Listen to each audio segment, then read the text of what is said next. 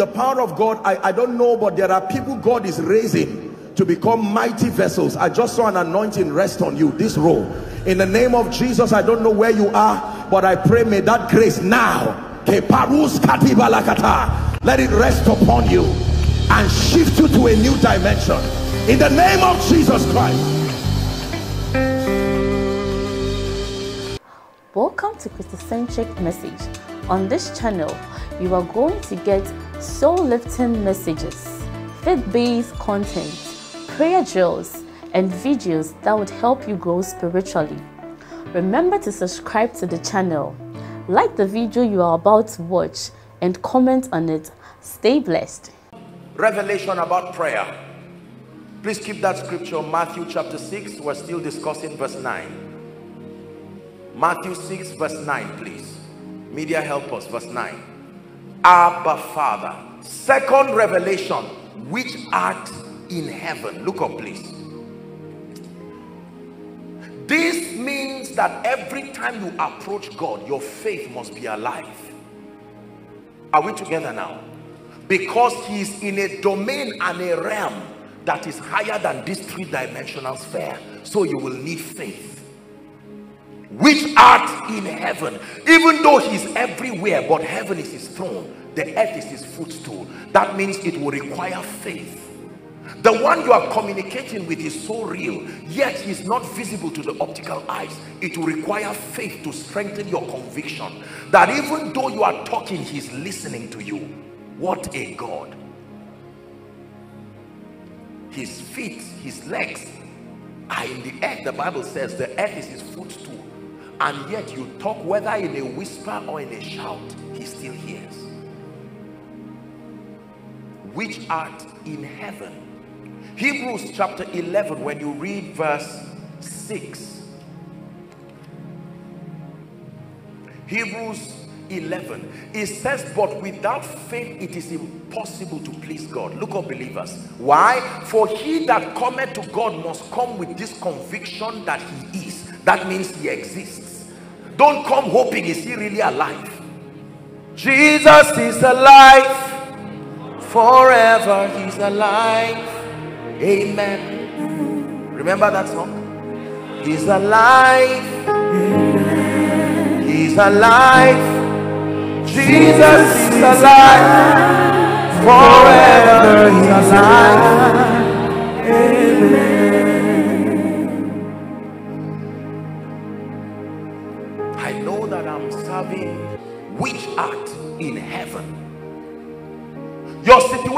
Say where is the god? Can you see him? Just because to build a job a relationship many of you have friends you have never seen yet you are so close to them you can feel the impulses of their emotions.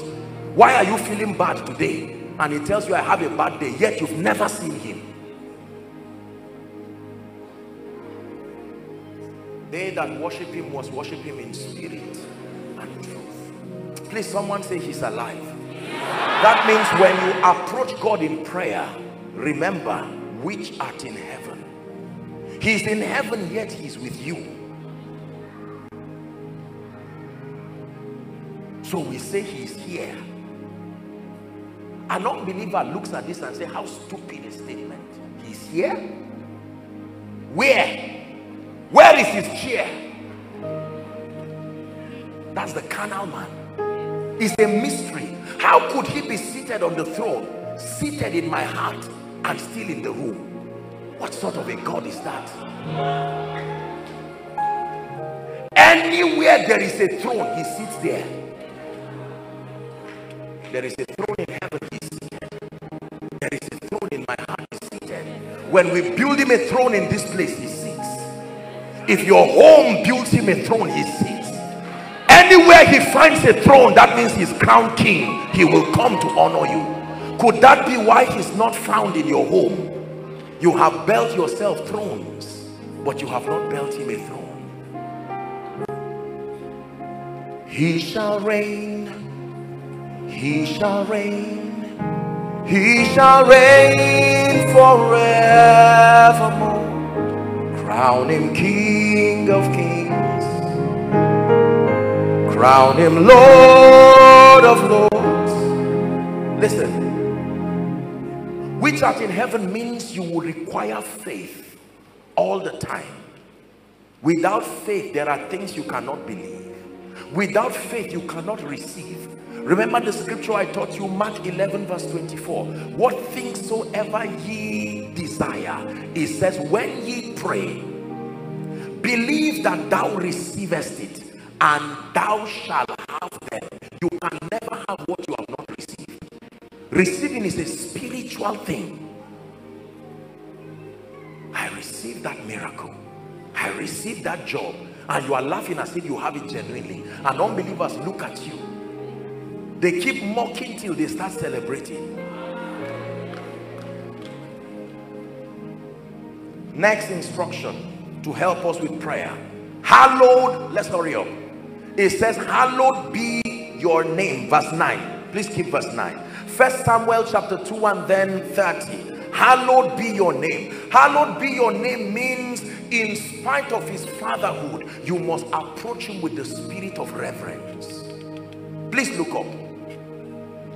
The revelation of the fatherhood of god can so affect us it can get to a point in our lives where we trivialize him like many people have. So he reminds you that even though you approach him with confidence you must approach him from a standpoint of reverence. It's called yirat adonai the fear of the lord. It's not enough to believe in god. You must revere him. Please give us that scripture samuel. It says wherefore the lord god of israel said i said indeed that my house and the house of my father should walk before me forever. But now the lord saith be it far from me. For them that honor me look up believers i will honor and they that despise me i will lightly esteem. That means not take them seriously. You must approach god with honor.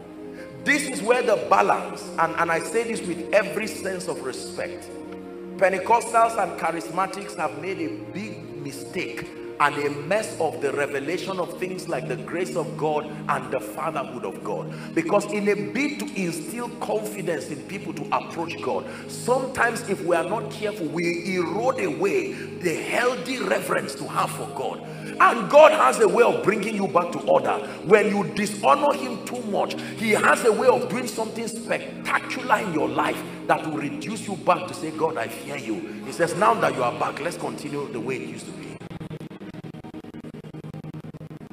fathers remind their children and say, hey, hey, it's all right. You are jumping on me, but remember, this man you are jumping on is also CEO. He's not just your father. I've allowed you to climb my neck is enough.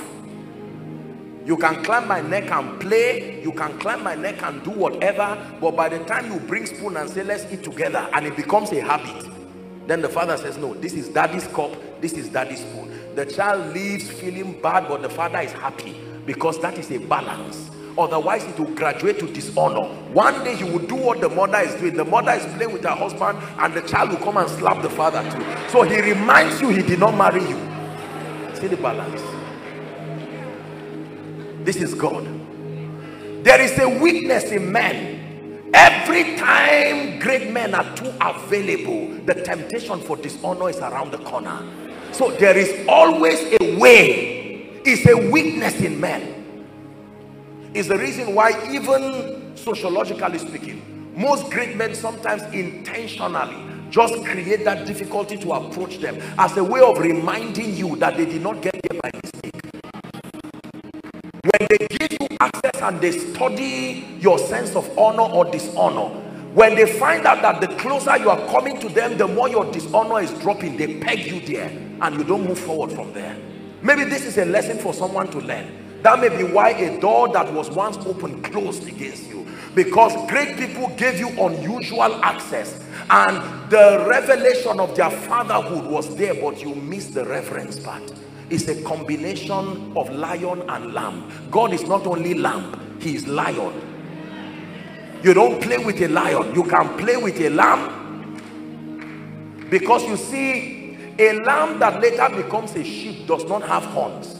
It can't hurt you it will only depend on the safety of the shepherd but the lion will tear you into pieces. God is both. He is both depending on who you are.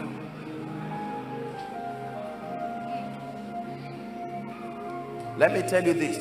There are sides of God that are very fearful.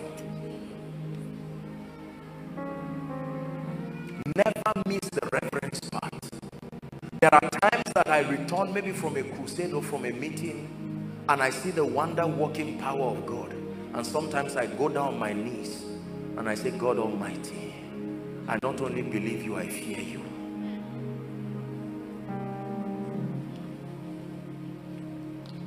Maybe God is speaking to someone who has been trivializing God. You walk to him casually. I'm the righteousness of God in Christ. I didn't ask you to die for me. You died for me. Now listen carefully. Here are my prayer requests. We call it confidence. Number one, I'm tired of this pay scale. Raise me up. Two, I am this and we blackmail him and then we wrap everything up uh, I expect between now and the next two weeks if you are really God please listen I'm not being sarcastic never allow your reverence for God to erode. No matter how close you get to God or greatness do not ever forget that greatness still remains greatness. Please this is a word of caution. Leaders maybe this is why many great people do not invite you to their tables again. They have seen that you do not know how to manage the system of greatness no matter how God even if God comes to jump around you know once in a while you see him warning his disciples because they got too used to him and say hey before your father abraham i am for that information. Don't you think you are just two years older than me peter? Ah i know they killed all my age mates from two years and below. Don't you ever think we're age mates before your father abraham was when he resurrected in john 21 he said little children have you any catch they were used to him by now none of them say ah god you are he's the ancient of days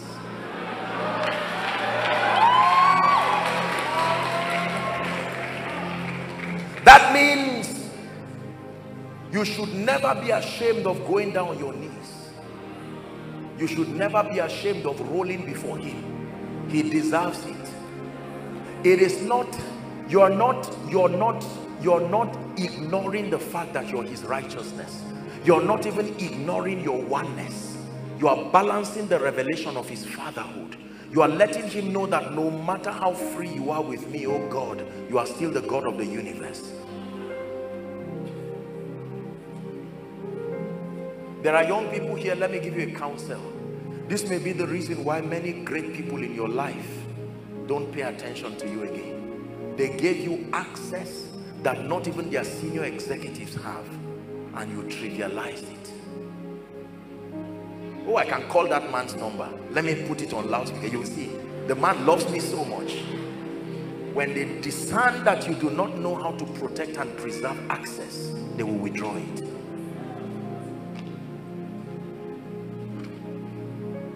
Are we learning something this night? Hallowed be your name. Boldness, according to Hebrews chapter 4 and verse 16, should not be mistaken for pride and dishonor. Hebrews 4 and verse 16 says to come boldly before the throne of grace to obtain mercy and find grace to help in time of need. Boldness is coming knowing that every sin and everything that can stand as a blockade has been gone why through the substitutionary sacrifice of jesus his son now he has become a new one a living way he's given me access to the father now i come without a sense like Kenyon would define righteousness as the ability to stand in the Father's presence without a sense of guilt, inferiority, nor condemnation.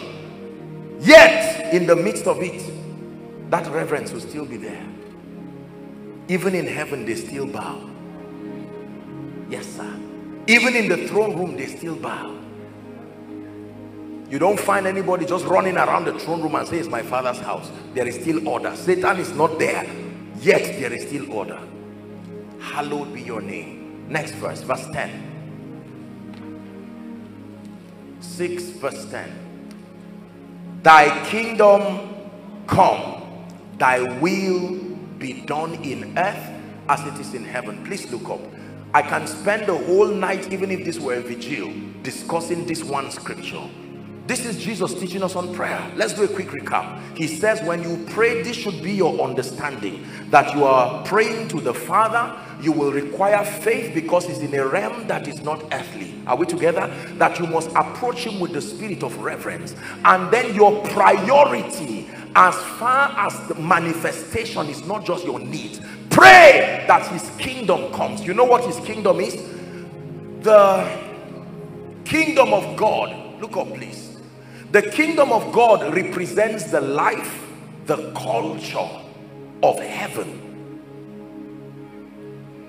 It talks about the sovereign rule of heaven finding expression. That you pray that his kingdom would come. How? By his will being done.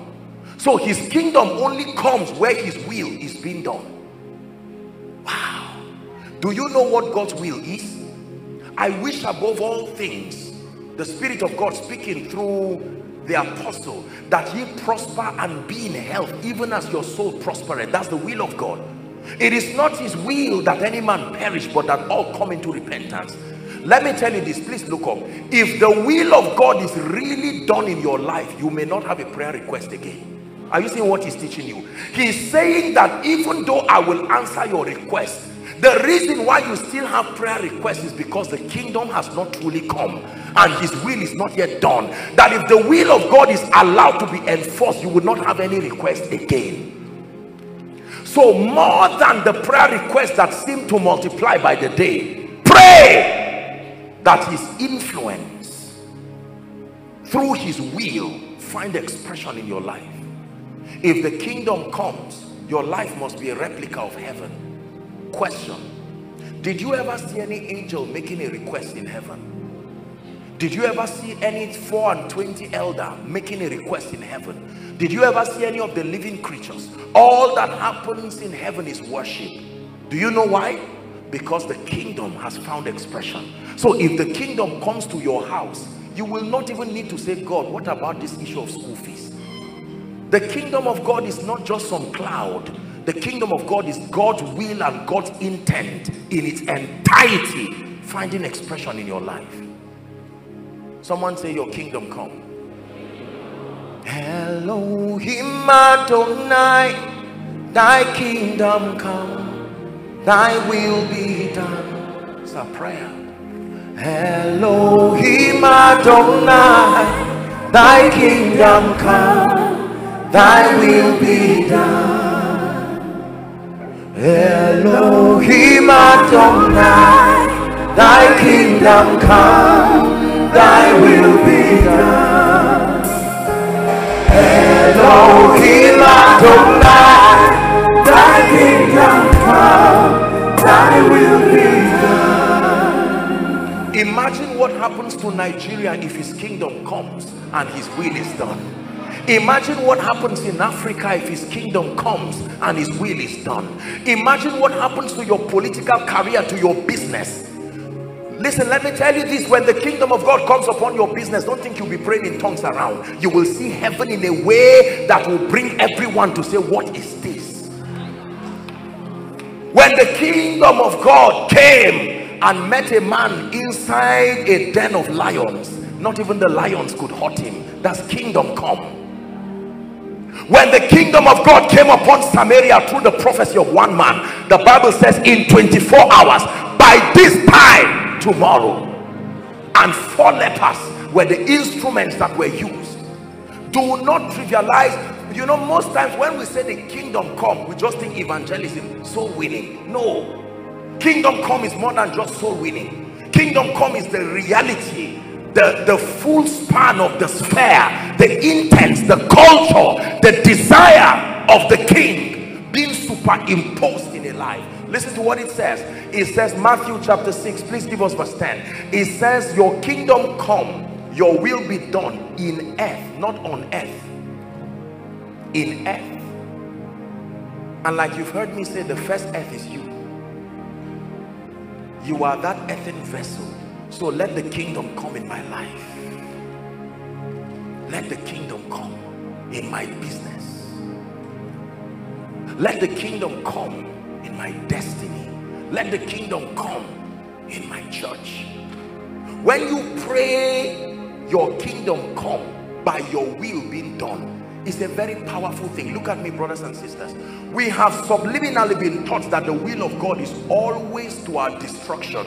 You know, most people hate saying thy will be done because they suspect that if you ever give God a chance, his will will so frustrate you. So when we say your will be done, especially for something that we already have our own plans,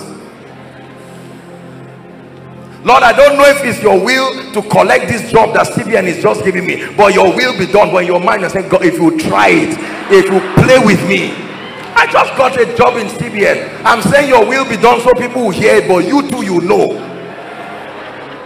Listen, his will is what made heaven heaven. If you doubt what his will can do, look at heaven. Heaven is what happens when the will of God is not resisted.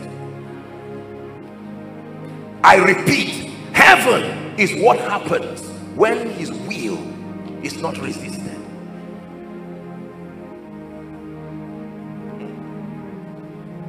Thy kingdom come, your priority should be his kingdom. When his kingdom comes, drugs, violence, armed robbery, corruption, all of these things will fade away Remember the Bible talks about a new heaven and a new earth. The old one folding like a carpet. That's what happens when his kingdom comes. Let me tell you something. If you're having problem in your workplace, your company, you don't just need good leaders. You don't just need intelligent people. What you may need, truthfully speaking, is his kingdom to come. Kingdom come is not just for the advantage of Christians alone. You are saying heaven and its reality. Let it find expression there is no recession in heaven there is no up today and down tomorrow in heaven a description of heaven is what proverbs i think chapter 4 and verse 18 i hope i'm right. It says but the path of the just is as a shining light. It says shining ever brighter more and more. There is no better yesterday. Reject that thing over your life. Your yesterday should never be better than your tomorrow.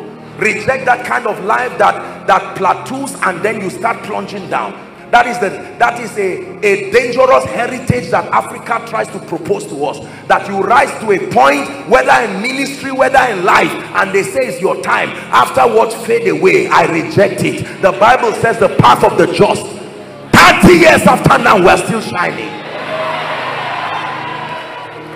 Listen it is unto you according to what you believe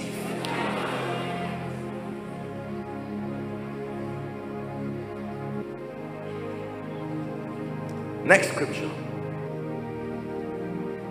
Matthew chapter 6 we're still walking it. Am I wasting your time? Give us this day our daily bread. Someone shout God is a giver. One more time say God is a giver. Say my bread is daily. Oh Nigerians prophesy. Say my bread is daily you have shown me your monthly bread. You have shown me your quarterly bread as an investor. Let me see your daily bread. Because the prayer says the nature of God's giving is that it resets after every 24 hours. Have you believed that? My God is father and father is giver I have prioritized your kingdom. Give us this day. Give us this day. Give this family this day. Any man that cannot provide for his family the bible says he has denied the faith. Are we bible students? And is worse than an infidel. So if it is true that we handed over this home to god where is our bread for today? Someone you need to take your eyes away from your company from the government I'm not a politician, but in Africa and all over the world, we blame everything on those in power. We blame everything on those members of parliament. Anything that goes wrong, both the one that is our responsibility and the one that is not our responsibility. there are things only God can do give us this day ah like a child will run and say mommy I'm hungry and the mother is proud to be mother. Follow me she says. Let's get to the kitchen and let me you will see what I've done. And there are options. What do you want? There's this there's that there's that. And the child is proud of such a you know these adverts that they show you see these blue band adverts or whatever? Have you seen that kind of thing? And you see the children even though they are acting you look at it and you're just salivating and you you walk you walk to a shop or a mall and you're ready to buy the same thing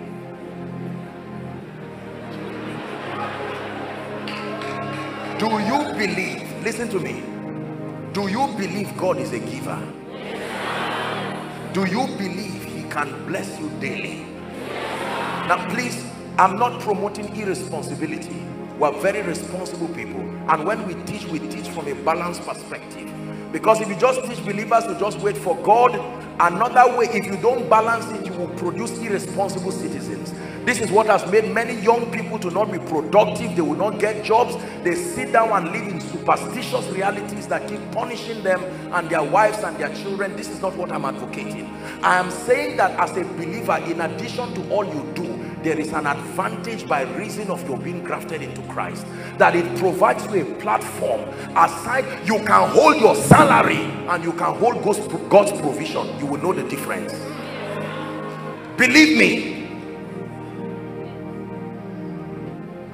let me speak to you in the name of honesty. How many of you know that based on the current African salary scale if you are to build an enviable destiny many many jobs as far as this country and Africa is concerned not to insult and demean government or entrepreneurs they are doing their best but by the scale of salary you will not be able to do much in your lifetime please believe it early.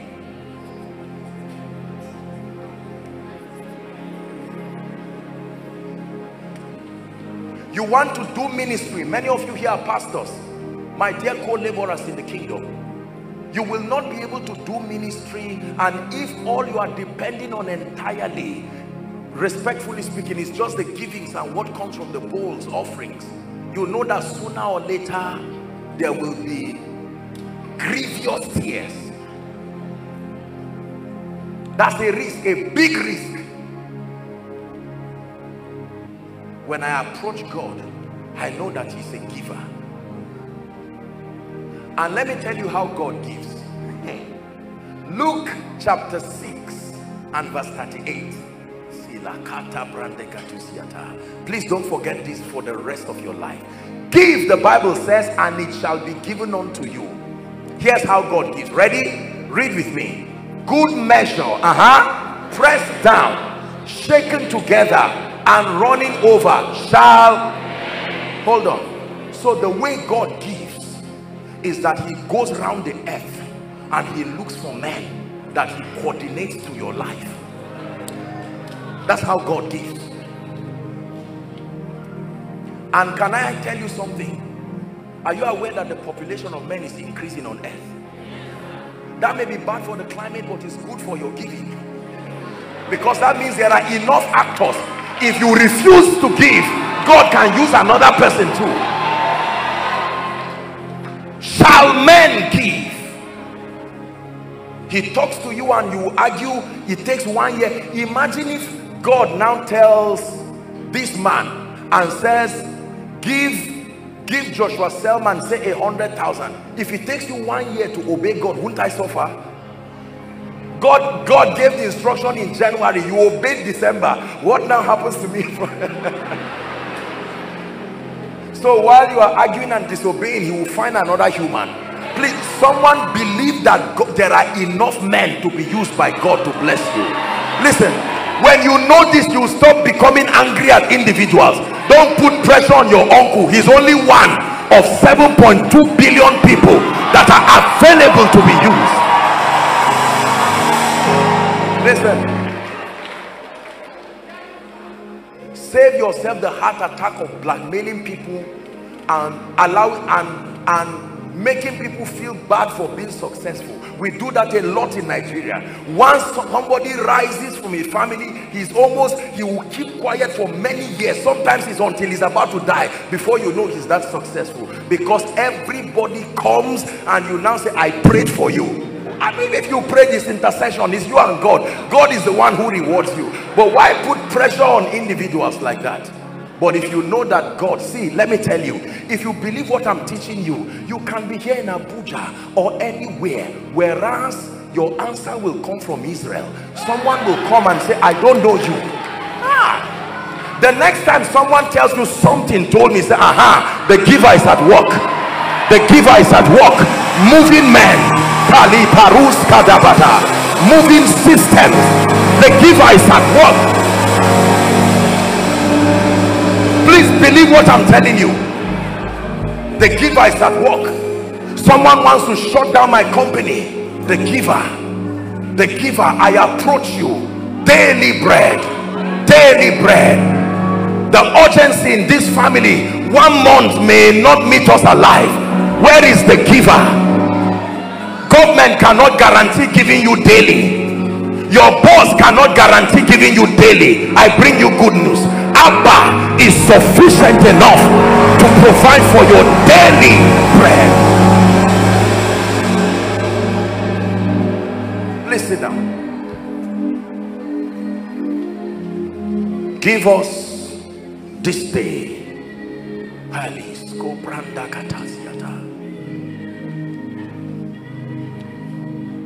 When God was going to send me to this city, you know what it means to come to Abuja from Zaria? You are intelligent, think well. If God does not send you, you will not only disgrace yourself, you will be a memorial, you will be a lesson for people. You, you will be a portrait of what disobedience looks like. They will use you in Bible schools to teach people. Parents will use you to caution their children people in politics will use you to warn to show people how painful it is to disobey god hallelujah. But when i sent thee lackest thou anything?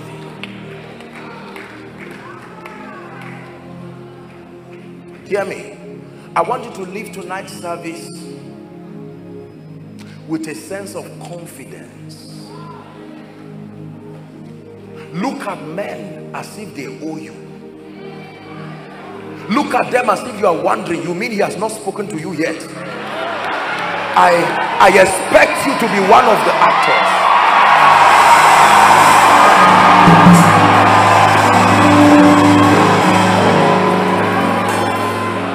i don't mean talk to them and harass them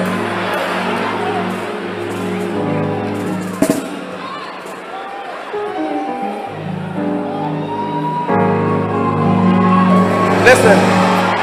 Sit down.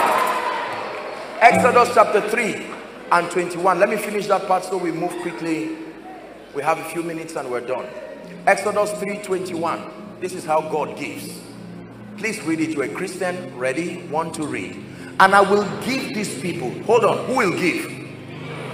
Who will give? God. And I will give. But this is how I will give. In the sight of the Egyptians I will give you by placing something on your life called favor. Listen, listen. And the character of that favor is that even if you, it is Egyptians I need to use, when favor is on you, it's like a spell. Even Egyptians that have oppressed you for 430 years. If your favor only works for family members, it's not authentic favor. Please give us that scripture. Exodus 3 21. It shall come to pass. This is the proof I have given to you that when you go, hallelujah, you shall not go empty. You shall not go empty. You shall not go empty. I know you lost your wallet, but don't kill yourself. Ah, my life is finished. How much is there? Kill yourself like that. The Savior is in your heart. a little box with maybe a few dollars or something just fell and you, you are giving yourself heart attack. Every time you wake up in the morning and you see that there are still men rejoice. I'm transferring in you a very powerful mentality. It's not a mentality of irresponsibility. It's a superior advantage we have in this kingdom man of god let me tell you this. Don't be writing letters to people and say till now god has not spoken to you. Don't harass anybody. They didn't call you. Let me tell you something. From where hold on please guys. From where you are if you dare wake up in the morning and hear the sound of cars moving and see people moving rejoice. There are enough men. The giver he can play men like chess from heaven. You move forward. Move forward. Go to him they don't have to know you. Strangers shall feed your flock. Is it not in your bible?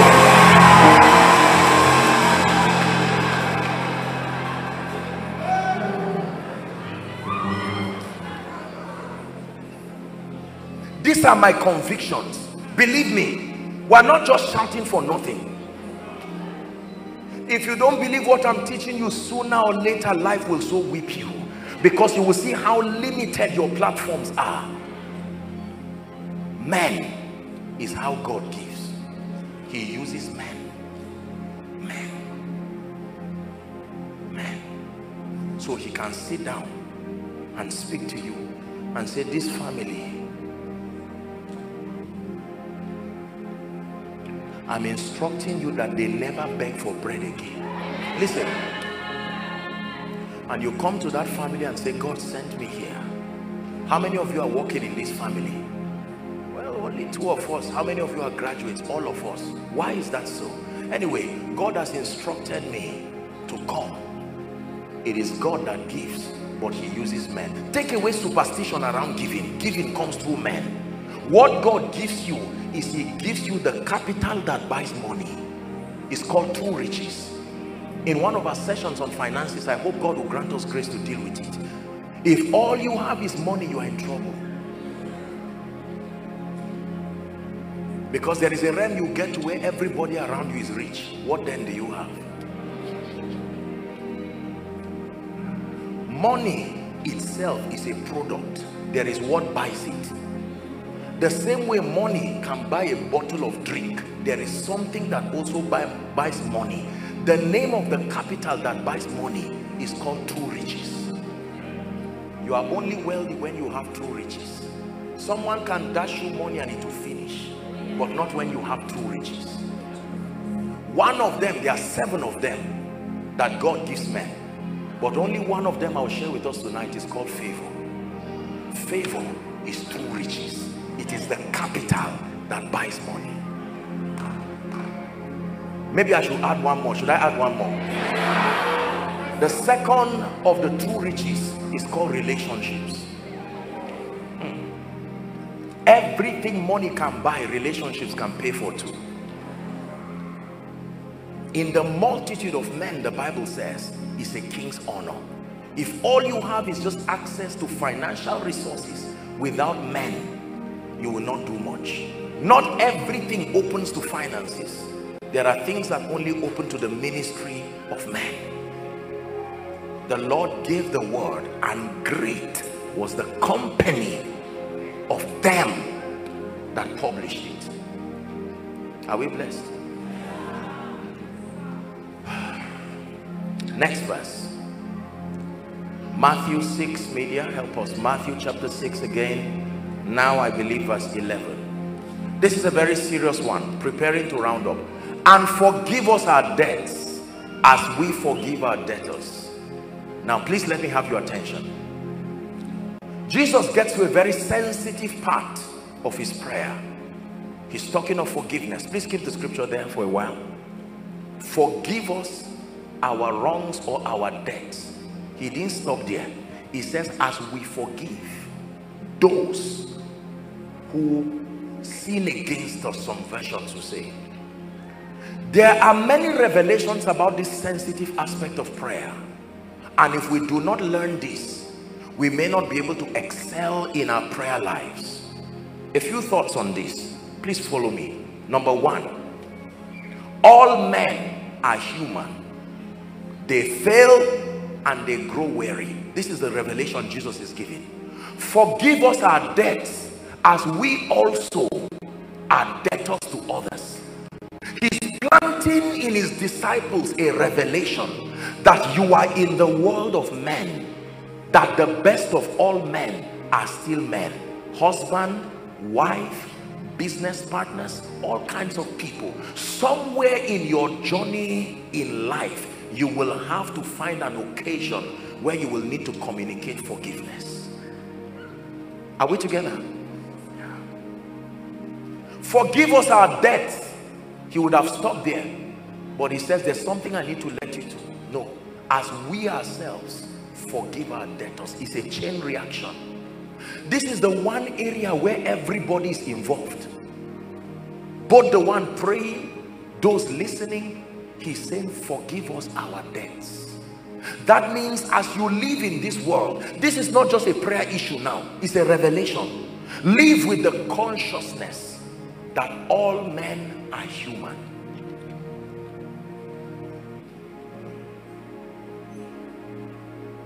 Let the propensity for forgiveness be ever there in your heart ready to communicate it because you will find many men. And the higher you rise the more there will be need to communicate this. Listen living a life without forgiveness will be a life of sorrow. Eventually you will find out that you will be the only one standing the chances that everybody around your life will offend you one day is 100 percent. The chances that you will offend everybody around your life is 100 percent regardless your spiritual growth. You read about jesus who carried a whip. Is it in your bible? That one day jesus entered a temple. He didn't report the rebellious people to the roman government as a nice coordinated citizen would do he carried the whip and took laws in his hands. Whipped all the people turned the table of the exchangers and was preaching hard and said my house should be called the house of prayer. If you were in government ladies and gentlemen and a report reaches you that jesus just just did something like this what would you do? Now jesus i love you but why have you tied my hand now? That's what happened to king nebuchadnezzar. When they gave decree they said no prayer should happen to any god for a period of 30 days. Daniel went to pray. He didn't do wrong but he offended the laws of the land. Offending people has nothing to do with being evil. It's a difference in perspective difference in values.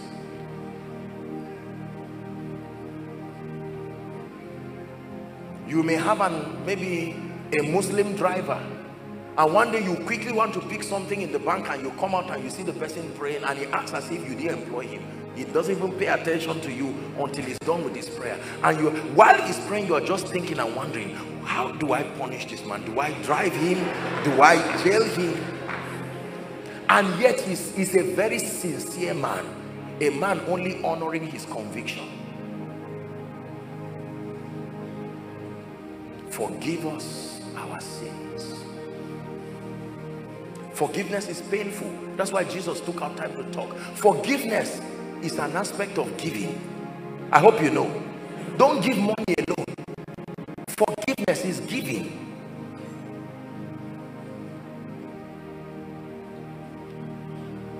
You laid aside your majesty gave up everything for me suffered at the hands of those you have created.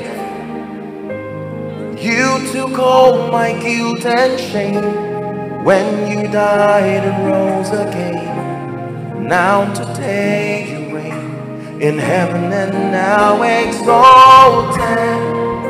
I really want to worship you, my God. You have won my heart and I am yours forever and ever.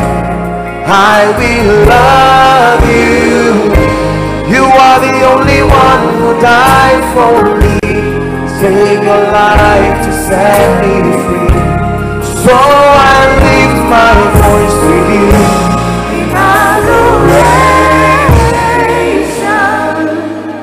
Listen, forgiveness is a profound proof of spiritual maturity. You're a businessman, you will need it. You're a leader, you will need it. You're a father, you will need it. How many hired servants, the prodigal son said, does my father have? And I am here sitting with the swine. I may not know many things about my father.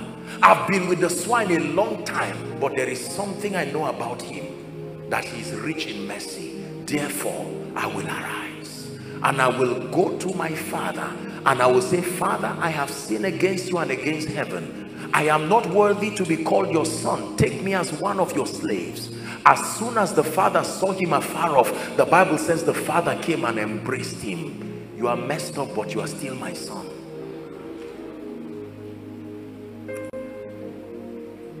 Listen to me. Sooner or later in your life, if it's not already happening to you right now, you're going to get to a point in your life where you will need to communicate forgiveness. Cheated in business, backstabbed politically, betrayed in ministry, taken advantage of this is the world of men Jesus is teaching us. If I ask everybody to come to come and pick this mic and tell us the story behind your resentment for men, some of you concluded that all men are wicked and evil and devilish. I don't need any man. No. Take it easy. God still uses men. Some of you is preachers you hate when you see any man on stage, you curse him before you even know him.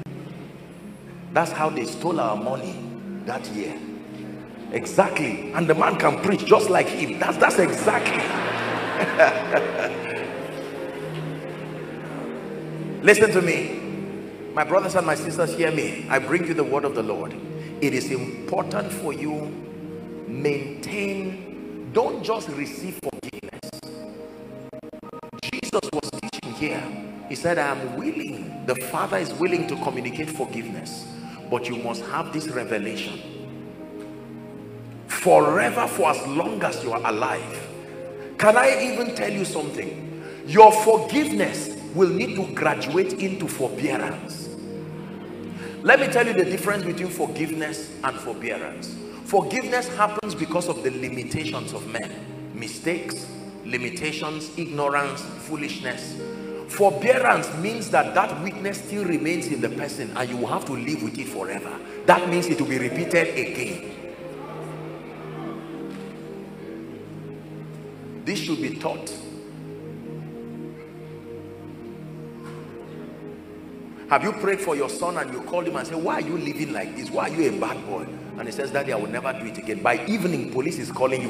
Evening not the next day. Don't feel bad please. If you have someone that's why they are here. We'll pray for them. Six o'clock are you the owner of this child? Yes sir. Please come to the we are tired. If this boy if he comes here again we jail him and you are standing there saying i thought this guy just begged. At that point you don't need forgiveness again. You need forbearance he's a prodigal son but he's still my son. Something happened and i'm only going to say it because archbishop benson idahosa is gone and then you know years ago this was from duncan williams himself.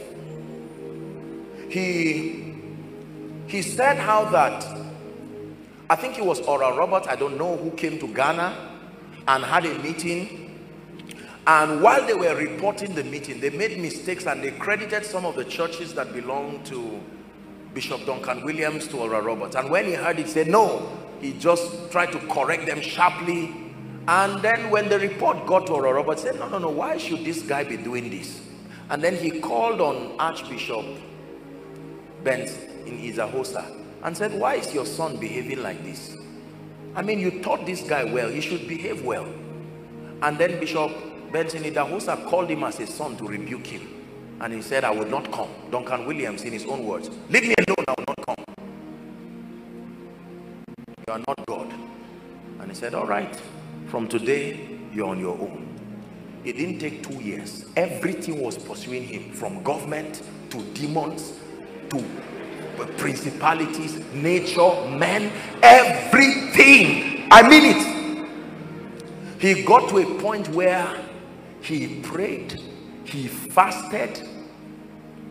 No matter what you do, if it's in disobedience, you will have to go back to the protocol of God's ordinance. You're not going to quietly manipulate God in the secret place when you are living largely. No, it doesn't work that way. The prodigal son can ask for forgiveness while he's with the swine, but for restoration, he must still meet his father. Listen carefully.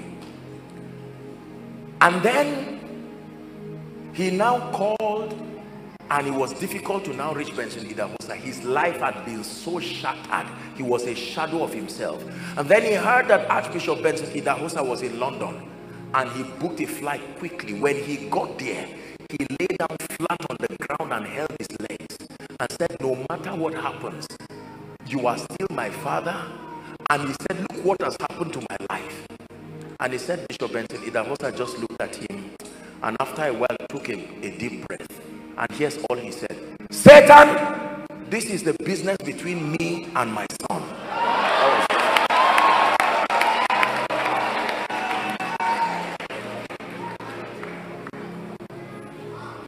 the legal access you have it is me he has offended leave two of us together you can now go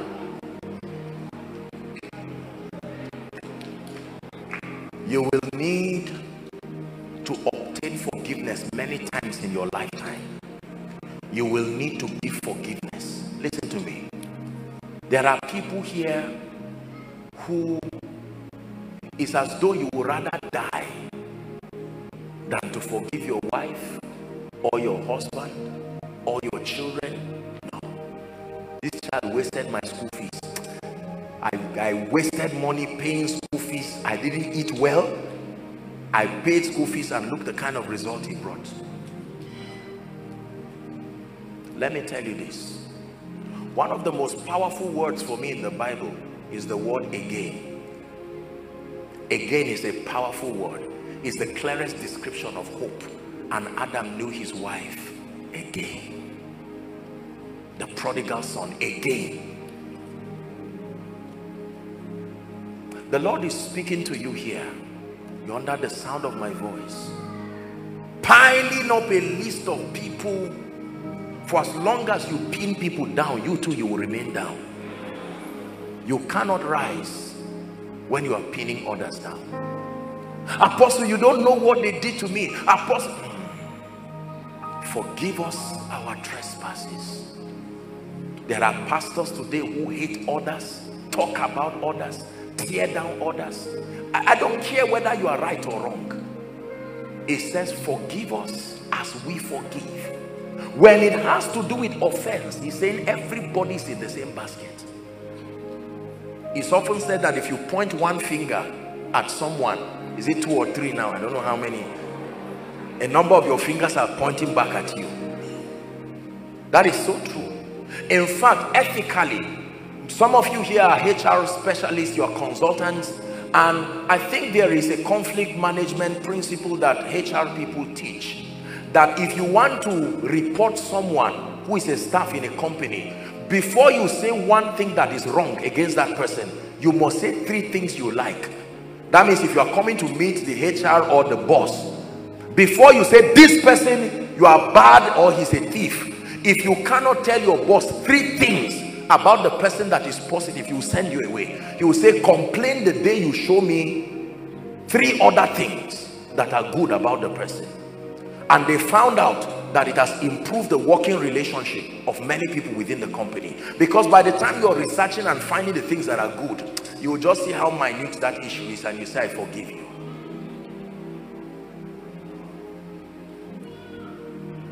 use it for your company from tomorrow. Call them and tell them I learned something. All of you come together. No more complain until it's ratio three to one. Where sin abound much more grace abound. So use that as a scriptural backing.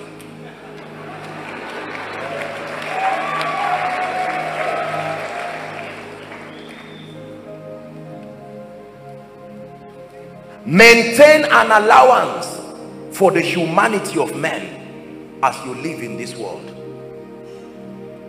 Take away the godlike expectation that you have over men. Leave room. I remember one time someone called me. I, I, I got up, I think around maybe two or three. I don't do much of sleep in the night. And I saw a text that was full of all kinds of things. You claim you're a man of God. I've been calling you. I was so tired, I was sleeping. Know this person insulted me and said this i'm calling you to pray. If my loved one dies just know you killed my loved one. What is this now? I only slept. They say you pray in the night. Yes it's true but that day i was tired. Should i lie? I only i slept. Listen it's good to expect so much but you must have realistic know the difference between realistic and unrealistic expectations are we together? There are people today who get angry at politicians. I gave you 50 names to give all of them a job. You only gave five. What kind of person are you? Ah, says I've tried my best. You are not the only one. Didn't I vote for you? Your vote is only one. Be patient. What of business people? You must have a large heart. Please listen to me. The humanity of men is something you must factor in your heart. Otherwise you will have heart attack every day of your life. Every day. Every day.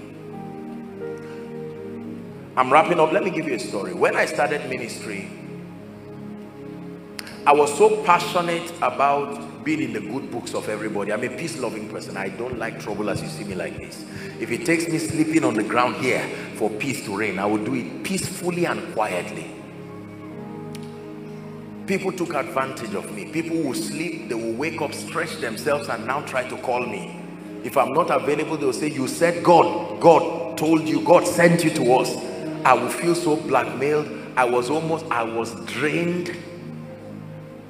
Let me tell you how God delivered me. I entered a Catholic church and I looked at the crucifix. You know the, the cross that they put there? And the Holy Spirit said whose face is there? This is true. For the first time I realized I was not the one who died for the sins of people. Honestly. Honestly. It just occurred to me that you can never truly satisfy everybody's needs. The goal is to be sincere and to do your best with the grace that God has given you. Because the time it takes to appease another is the same time that allows to offend another can you come to my house? Okay i'm coming. Ah you went to this house. What of my own? Okay don't worry. I will see what i can do. I would i would receive over five invitations for the same date. And they will forget to contact me and then remind me sometimes the morning of that meeting. I hope you are still coming. Our posters are out and i'm saying god what am i doing now? And for some of them the journey there's no airport there. And then we're just starting. The resources to have the luxury to travel is not even there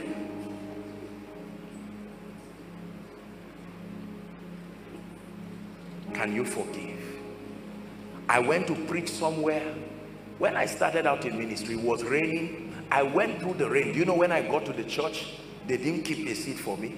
I was a preacher. Oh. Yes, sir.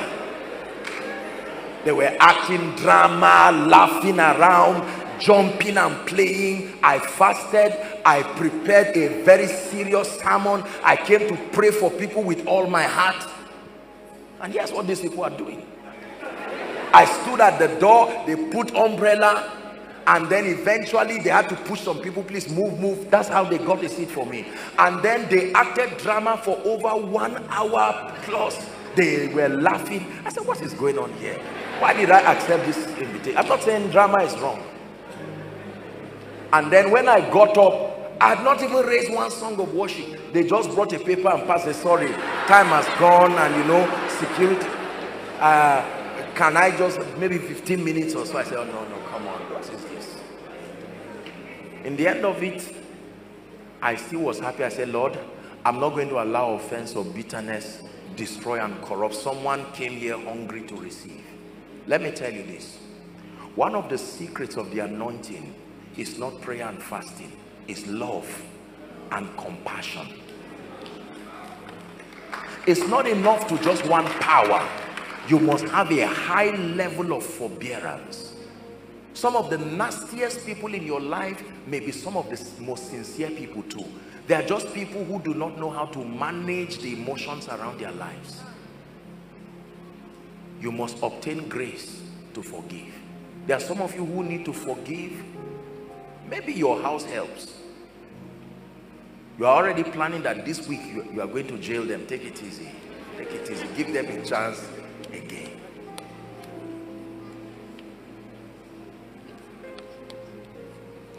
When i learned this in ministry it gave me peace. There is absolutely nothing that surprises me today in ministry. Now my heart is prepared for anything. Anything As I'm here, if I hear that the security people in my house have run away with my car, I'll say, okay, no problem. That's all right. God, thank you. It's your own police. I hand over the case to you. If you find the car good, if you don't find it, that's all right. Please, I need peace in my life. Make up your mind that you are going to have peace. Let me tell you this. Do you know the highest index for measuring wealth is peace, not progress? Peace. There are many people today the names of people is what makes your blood pressure to be running up and down. You want to sleep you just remember oh this senator oh this person oh this business person. Can you imagine how this person betrayed me? Five billion gone like that. Is gone. But be patient. God can restore but it's when you sleep and wake up he restores. If you die they bury you. Make up your mind great peace have them that trust or love the Lord. He said, in nothing. Listen, make up your mind that you will have peace in your life. Nobody will steal. Your peace is an asset. Don't trade it. Are we together? Peace. I was told of someone who died from April Fool. True story. This thing they do during April. No, you just come and lies and and they said something serious and he died of a heart attack. The person who was joking did not know what to do now.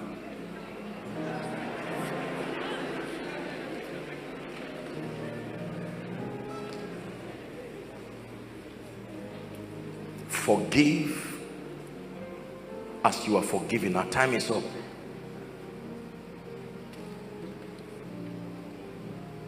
Let me touch on one aspect. Just give me five minutes and we're done Next, it says, lead us not into temptation, but deliver us from evil. Now, this is a very powerful scripture. Lead us not into temptation. That means men don't just get tempted, they are led. This is a very powerful information. Temptation does not just come to meet you. There is someone or something that leads you. And he said, Lord, your leadership does not lead men into temptation.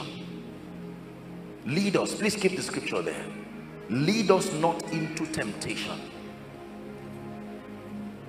Is the day that armed robbers will come somewhere a voice will say go and rest there. You are being led. You just go and sit down there and get into trouble. There are many people who were innocent but because they could not discern they went and fell into trouble you must pray for guidance. Not everything that looks good is good. Not every door that is opened is anointed. In fact almost all troubles first appear as good. Lead us not into temptation is a very powerful prayer the guidance the leadership of the holy spirit. Isaiah chapter 30 you read from verse 21 and 23 please let's hurry up. Isaiah 30 21 and 23 the bible says isaiah 20 it says isaiah 20 isaiah 30 sorry 30 from verse 21 to 23 please write it down for reference. Isaiah 30 it says and thine ear shall hear a word behind thee saying this is the way walk ye in it. When ye turn to the right hand and when ye turn to the left. 22 the bible says oh dear. Let's just keep 21 go back to 21 I think I should just leave it there. Your ears shall hear a word from behind thee saying, This is the way, walk ye in it. When you turn to the right and when you turn to the left. In this world that we live in, you need divine direction to be guided to go away from the place of temptation. There are people who had no business getting into certain kinds of troubles, but they were led there.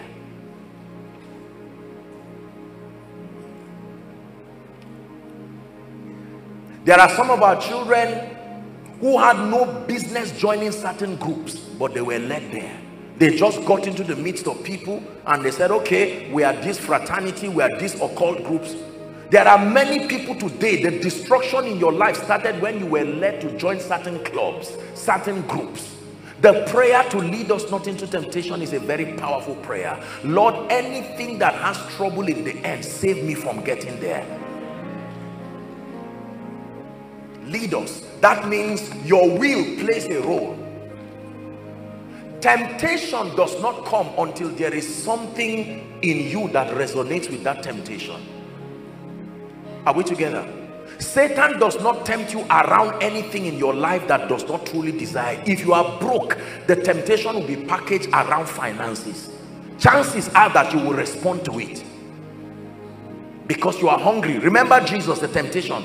The first temptation had to do with hunger. You are hungry. Why don't you turn this stone to bread?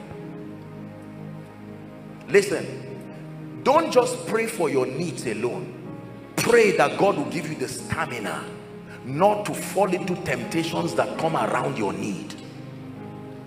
You may be needing a house in Abuja desperately. Your family members are stranded and Satan comes. Why don't you compromise? and you will get one million overnight for a house it's easy to resist temptation when you don't have a need satan is not foolish. He will wait till you have a need and the need presses you to the neck. Then he comes with an offer. It's difficult to say no when you have a need. Lead us not into temptation. And then he says deliver us from evil. Now this one evil you don't have to go there. Evil is a is a living spirit. It moves around looking for men. You know a man of god a man of god gave a story very very touching story about a man who tried to board a flight and he was rushing there and for whatever reason you know it was closed before he got there the flight lifted a few minutes later he would hear from the news maybe an hour later or so that the flight crashed he was saying wow then he went to join a train and the train crashed. That one and he died in the train. You see, that one, death was looking for him. Death was intentional. If you if you miss the air, I'm still waiting for you on land. Let me tell you this. Two scriptures, please, very quickly. Two scriptures. First John 5 19 First John 5 19. Never forget this scripture. First John 5 19. The Bible says we know that we are of God and the whole world, not Abuja, not Nigeria, not Africa, the whole world lieth in wickedness. Every one of us here is a potential victim of wickedness if unassisted by God. Everyone. You don't have to offend anyone. Just be alive even the dead body of Moses when Moses died was he free Satan still came to carry remember he wanted the dead body when Jesus died was he free they still put people to cover the body. What do you do with a dead body? They covered it in a tomb and they still put people to protect the body.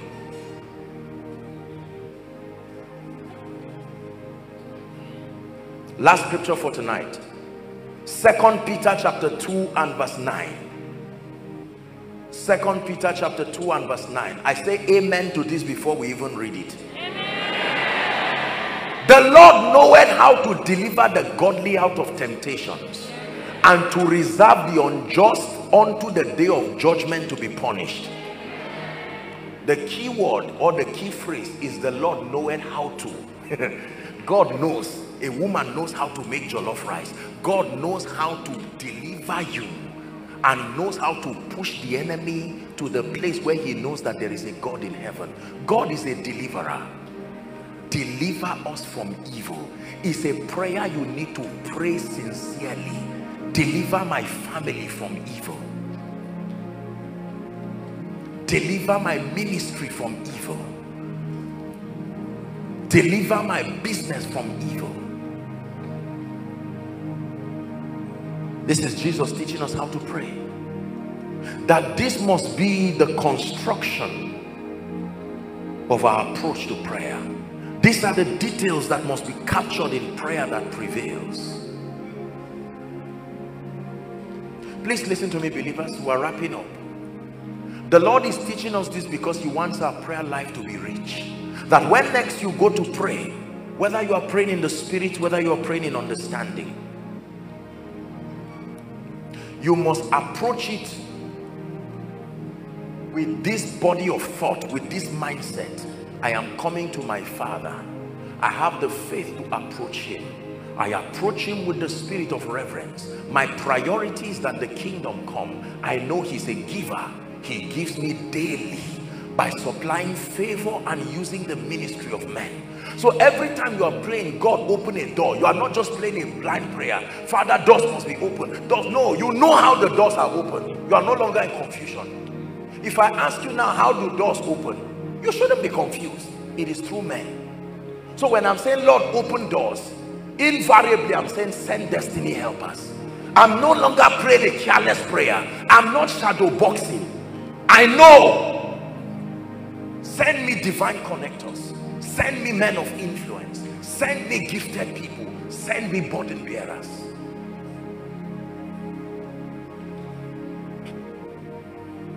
If God wants to lift me, how does he lift me? He uses men. So give me the wisdom to maintain strategic relationships, oh God. Now your prayer life is fruitful. Just pray randomly. God, don't leave me like this. Change my story. Wipe my tears. It may be a sincere prayer.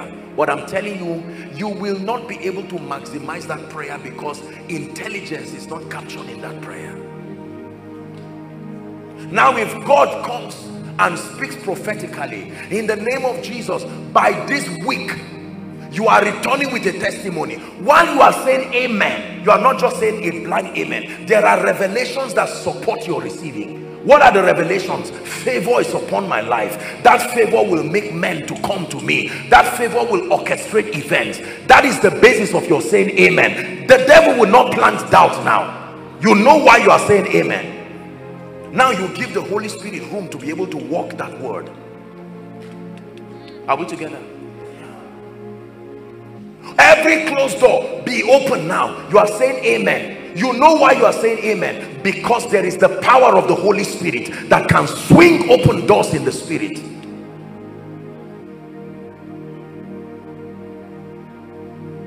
Are you ready to pray? You're not going to stand. Please sit we'll pray for just one minute and then I do the altar call and we're done. Please whilst you're praying you are seated. I'd like you to lift your voice in one minute and say father change my perspective as far as the ministry of prayer is concerned. I am a king and I am a priest. I want to begin to pray the kind of prayer that produces results. Please lift your voice and pray. You came to church. Outside are you praying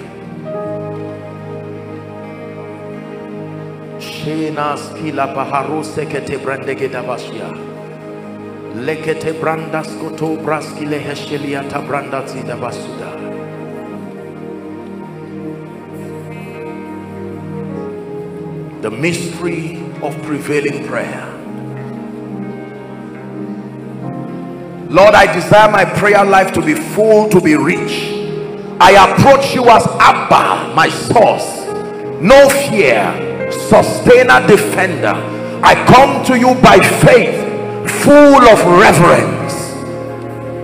I come to you asking that your kingdom find expression in my life.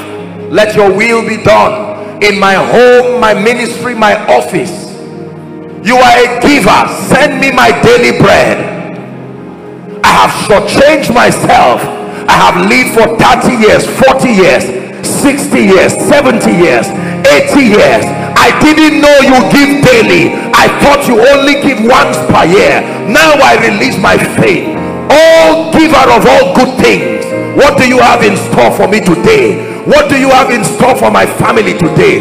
Give me my daily bread.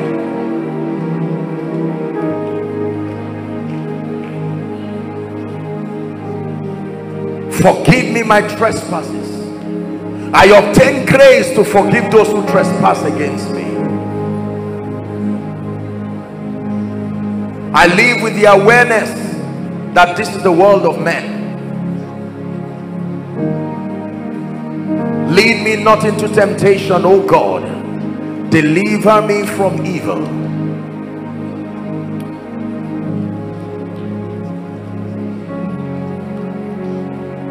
We're wrapping up.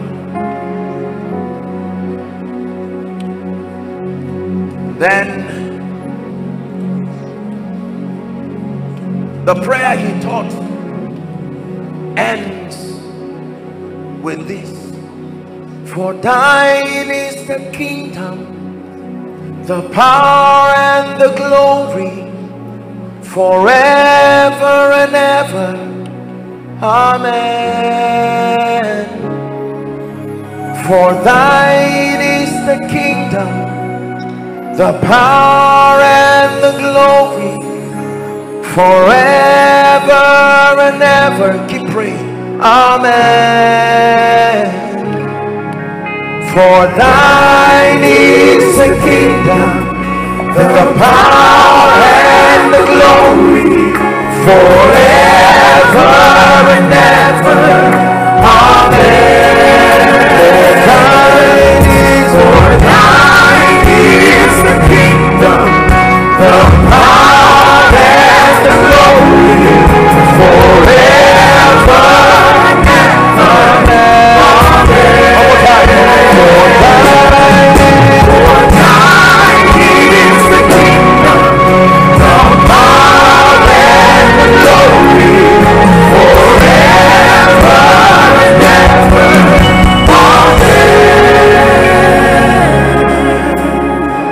I request that we all rise. Let's minimize movements everywhere, all the overflows outside, following online. Please stand. Please stand.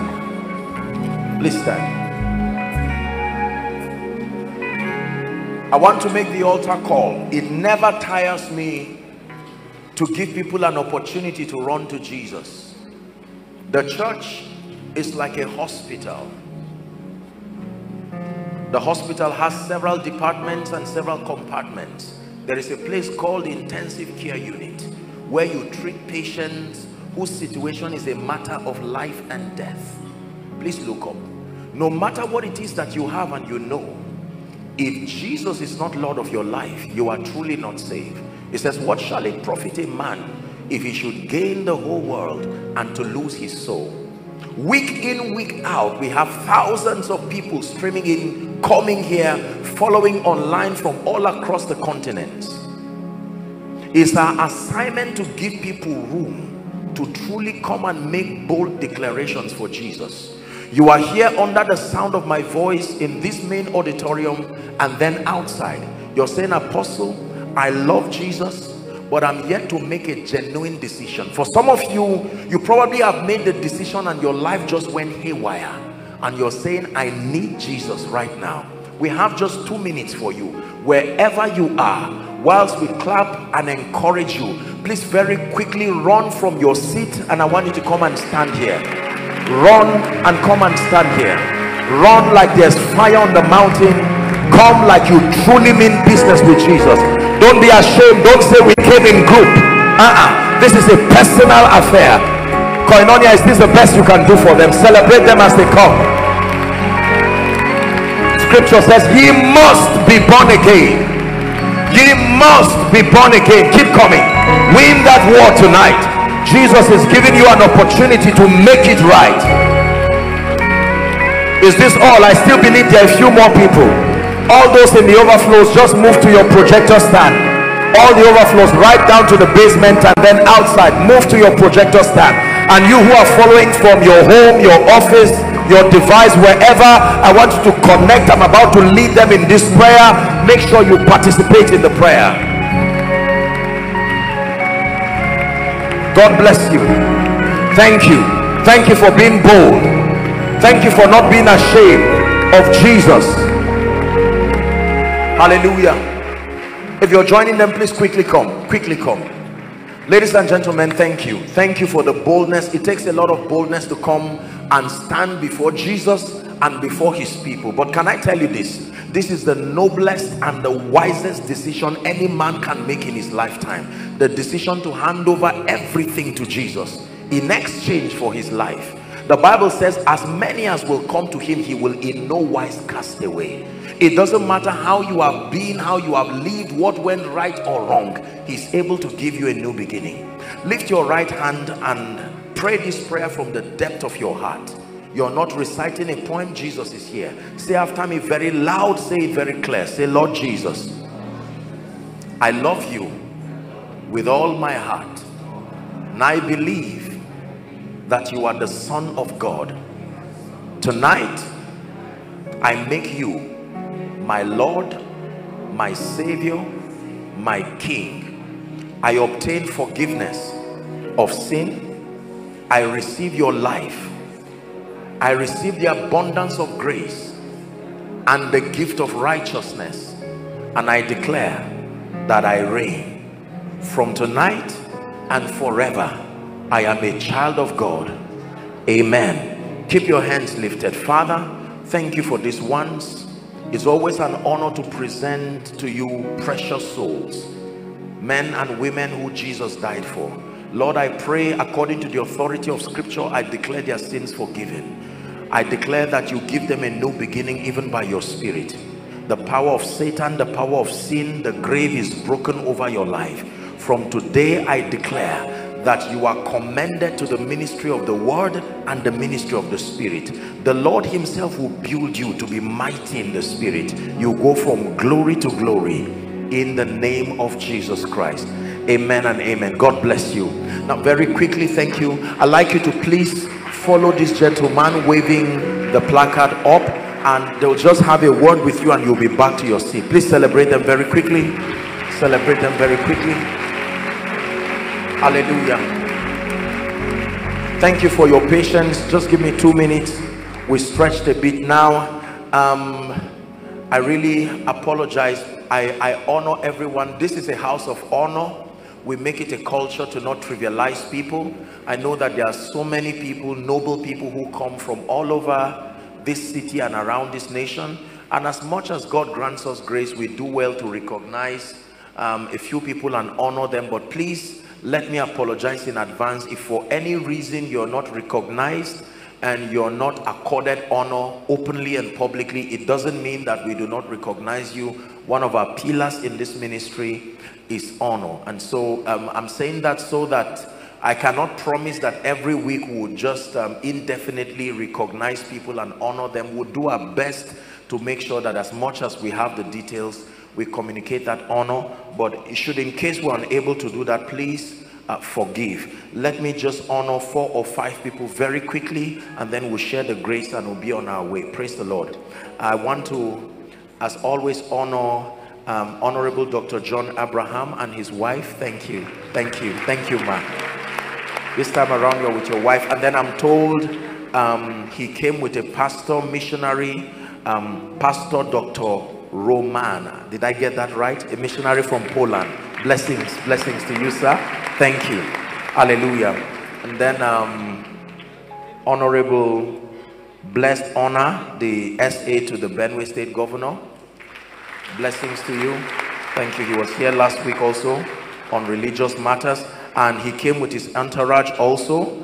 The Lord bless you. And then Honorable Forgive Me is it Orugu? If I didn't get that right, please forgive me. Also the SA to the governor of Benue State on youth and student affairs. Are you here, sir? The Lord bless you. Thank you. Appreciate you.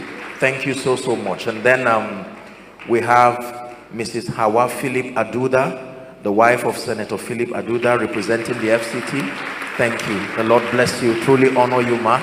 Really appreciate you. every other dignitary, every other noble personality, we truly honor you and I'm sure that the protocol will just direct you. So we have a word briefly after service. The Lord honor you. The Lord increase everyone. Thank you for coming. Now a very important announcement for the first time in Abuja. Next week Sunday will be our first miracle service. Hallelujah. Please listen. Listen please do not miss it for anything. Come early. Now just two instructions. I want you to come with your request write everything that has troubled you everything that will not let you go. There is a god that answers by fire. We are going to collate all of the requests. Even for your loved ones who are unable to make it please bring it. We're going to be praying at the altar here.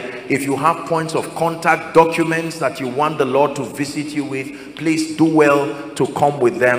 And then for all our international guests please do well to reach our pr lines so that they can help arrange your coming, especially with the whole pro, uh, COVID formalities and, and so on and so forth.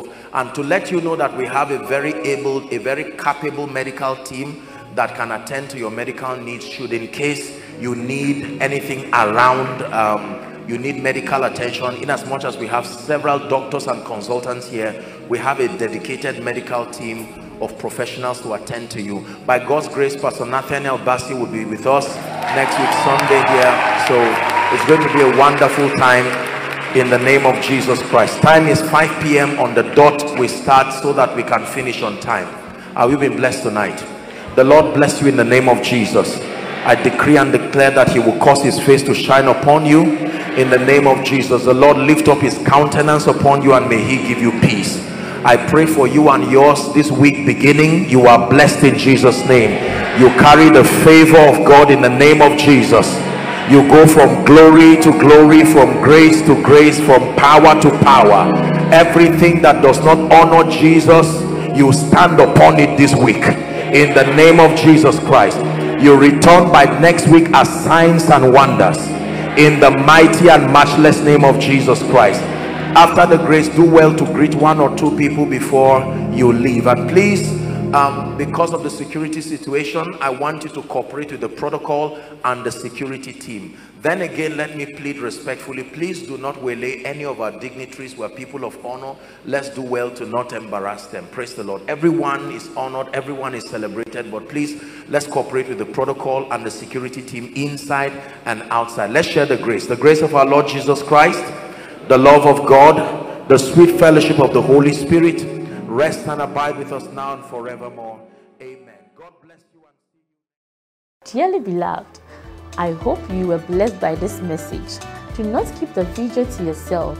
Share to as many as you can to help them bless. Check our homepage for more of our messages. Subscribe to the channel, comment on it, like it.